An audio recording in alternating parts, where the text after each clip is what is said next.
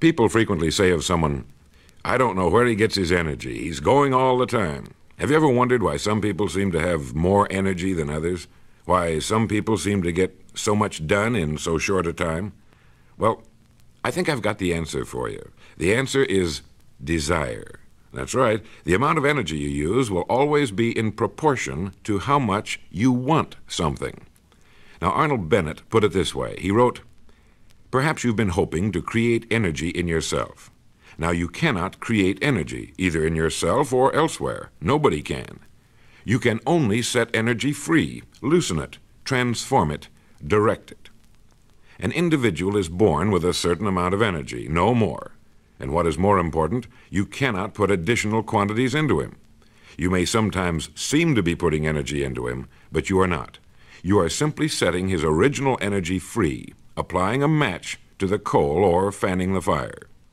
Now, some individuals appear to lack energy, when, as a fact, they're full of energy which is merely dormant, waiting for the match or waiting for direction. The usual idea of the amount of energy possessed by an individual is the intensity of the desire of that individual. It is desire that uses energy. Strong desires generally betoken much energy, and they're definite desires. Without desire, energy is rendered futile. Nobody will consume energy in action unless he desires to perform the action, either for itself or as a means to a desired end. You must not confuse vague general aspirations with desire. A real desire is definite, concrete.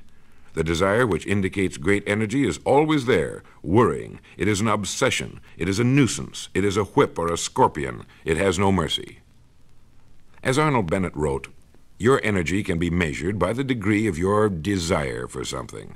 Now, a good example of this is when you're looking forward to an evening out. It can be a party, the theater, anything. But if it's something you want very much to do, you'll find, even after a hard day as you dress to go out, you're full of energy. Normally, you'd be ready for a deep chair and the paper or bed.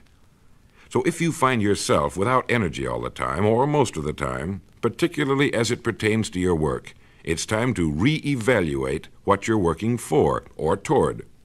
The teenager who can barely move through the house without collapsing into a chair, who walks as though he's coated with two inches of lead and who shambles off to school in the morning looking for all the world as though he might never make it, is a totally different person on the football field or the basketball court or when it comes to getting dressed for a date. Desire is the answer.